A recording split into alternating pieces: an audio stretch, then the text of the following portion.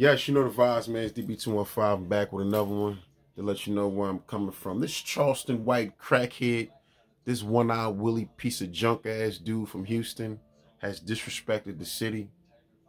And I gotta put him in his place, man. Who but me? You know what I mean? Who but me? Check this out. I know you really mean fuck Philly.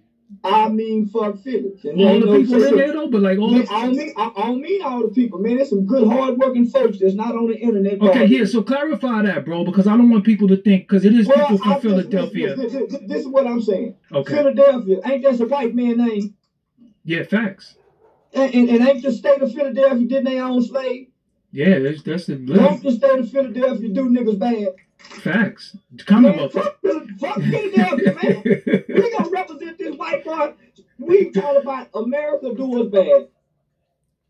Yo, for somebody that has never been here at all and did some little homework on the on the history of it, talking about some white boy and all this shit and slavery shit. Listen, man, that's that's beyond that's beyond right now. Ain't nobody talking about no slavery shit right now. You know what I mean? It's clowns like you that just run around talking shit because somebody gave you a platform. That you really don't mean anything. Like that substance is is far fetched and it's like you a hypocrite, man. You a one-eyed crackhead hypocrite that just want to keep on, you know what I mean, making your name relevant. You got something else to say. You know what I mean? You ain't got nothing to do, but you got something else to say. You know what I mean? And you can't say fuck Philly without saying fuck the people in it. Because what is the city without the people in it? You know what I mean? So the dude basically was was asking you, and then you got nervous because you ain't want Philly people on your ass. If you disrespect Philly in Philly, you're gonna get your other eye knocked out. You will be blind. You know what I'm saying?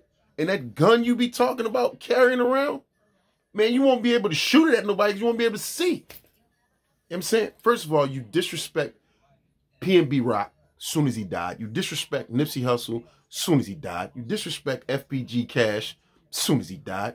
You disrespect King Von soon as he died. All because you didn't like the music they was putting out. Now my thing is, these youngins love that shit. You know what I'm saying? So don't you think that they love them just as much as they love the music? And just because you don't like it, you trying to make people not like them no more. And they got a name that's way bigger than yours and yours will ever be. And I think you feel some type of way about that. You know what I'm saying? You old and you bitter and you you miserable. So you run around trying to degrade people and then you trying to flip the script and then you try to get preachy on people. You know what I'm saying? Like like you know it all. You ain't got all no answers. You ain't about to change no world. You ain't no leader. You just a fucking old ass has been piece of shit trying to keep your name lingering around. But you really stand for nothing. Absolutely nothing, man. You humping beds with your boxers on. That's what you represent? Get out of here, man. You off that motherfucking Wakata. You know what I'm saying? You smoking that good, good Colombian shit that ain't been stepped on once. Come on, bruh. You gotta go, man. You gotta go, man. Seriously. I'm not gonna let you disrespect this city like that at all. You know what I'm saying? We can have little rivalries with each other. We see each other every day. We supposed to have rivalries with each other. But you are outsider. You can't disrespect the city as a whole because you're disrespecting everybody that's in it and everybody that comes from here. And I can't let you do that. So if the ones that's bigger than me ain't gonna step up, no problem. I will. The ones that is beneath me ain't gonna step up, no problem. I will. This is my shit. It's DP215. You know the motherfucking vibes. Throw up the sign and I shall arrive. You understand me?